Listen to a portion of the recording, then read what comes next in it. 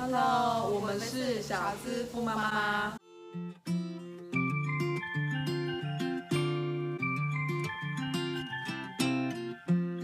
我们会想要做小资富妈妈，是希望是给大家一个非常正面的态度。嗯因为当我们遇到人生的低潮的时候，其实我转个念，对，我们要怎么样去转个念，正面的态度，可以嗯让我接下来过得更好。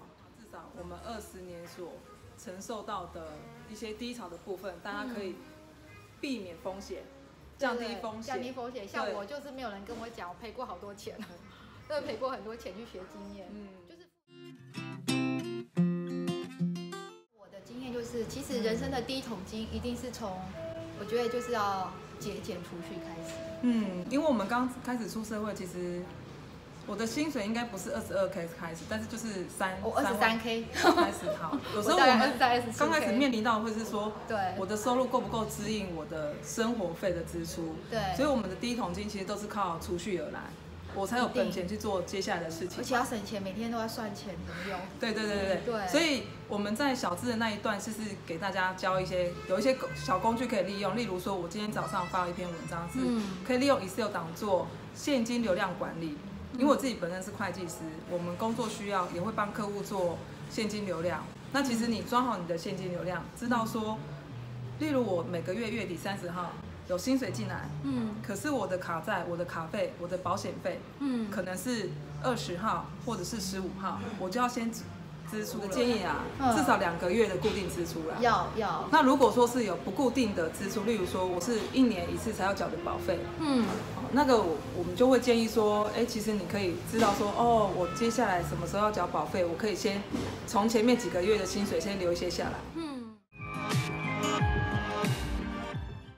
对，那第二个就是说，你就开始在 Seven 嗯读像呃商业周刊啊、钱杂志啊、金周刊，还有理财理财的任何理财所有的杂志就翻翻翻。嗯那我记印象很深的是，每一个杂志的前几页都是讲全世界的经济啊总体、动经济状脉。况，对。但是其实刚开始真的是看不懂，其实就是慢慢的累对积，因为我是因为工作的关系，我我其实常被客户考试，所以我们一定是都是要了解这个趋势。因为那时候没有认识佳瑜，所以这些东西我看不懂，都是只好一直去读。那每一次你一定会想到说，哎，呃，台币升值代表什么？嗯哦，你每次可能在我说几个重要的观念，对台币贬值，还有油价上涨，它的嗯联动性怎么样？其实这个小资族主要把它当在追剧就好了。哎，对对对对，对所以如果说大家有兴趣想要了解一些呃类似理财的小知识的话，也可以留言给我们。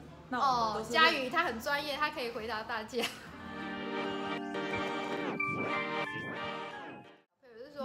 们怎么样去看出说我买的这个东西是身材工具，或者是我们花了就没有了？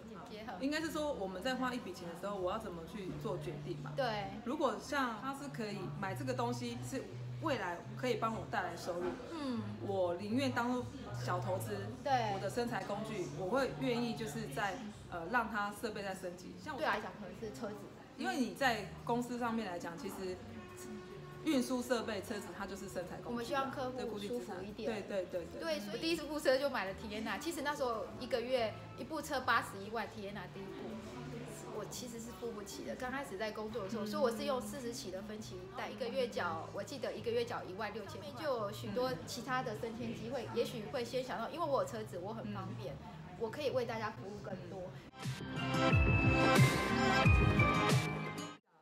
储蓄是第一步嘛，嗯，把我辛苦赚的所得存下来是第一步，至少我的收入大于我的生薪活支出，资第一步，你知道小资族常当月光族，那我制造被动收入。非常重要。对啊，对像我的话就是，哎，我的被动收入可以大于主动收入的时候，我就可以出来创业，哦，我们就可以不用在公司工作。我现在还没有啦，还是我们没有他自己他已经努力工创业自己工作，没有没有，哦他是老板，他自己那个驾驭会计师，他自己有一个会计师。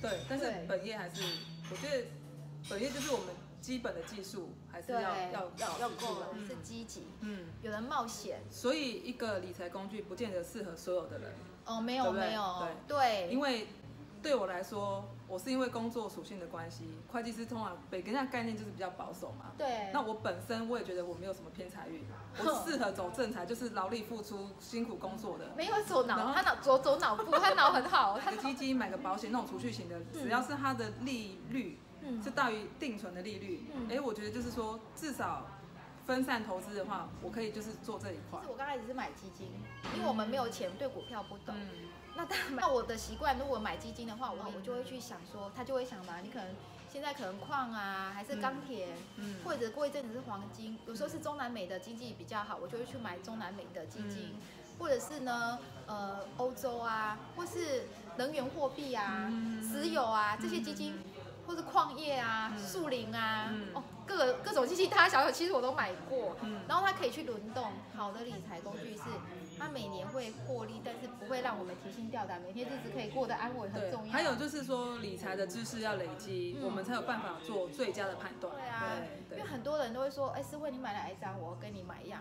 我说其实不这样不一定会赚钱。第一点你买进的时机点。对对对，还有你可能其实很多股票买就跌啦，我自己啦，真的嗯买了就跌，那我可能沉得住住气，可能嗯别人可能沉不住气啊嗯，他就赶快卖掉就赔掉。